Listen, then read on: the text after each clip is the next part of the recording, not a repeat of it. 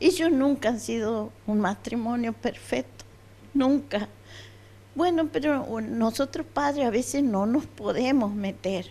Nosotros la hemos traído aquí hace dos semanas atrás, ella ha estado con nosotros. ¿Ella dónde estaba viviendo?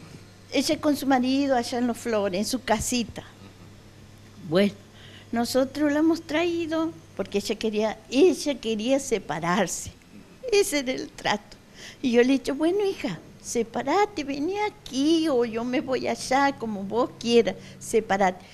Pero los relatos de ella era que él no le quería entregar nada, ni la casa. Le había llevado a la otra chiquita. Chiquita es una chica de 15 años.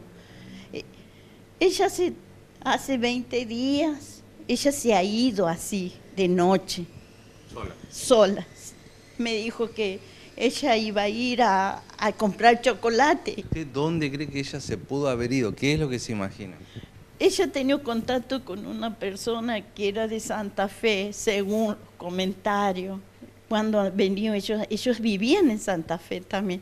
¿Y ella desde cuándo está desaparecida su ella hija? del 29, del 29, que lo único que el 29 a la- al otro día, nosotros a la tarde, cuando ya no había más nada, no sabíamos nada, ella nos manda un mensaje, nos contesta ella por teléfono, estoy bien, no se preocupe.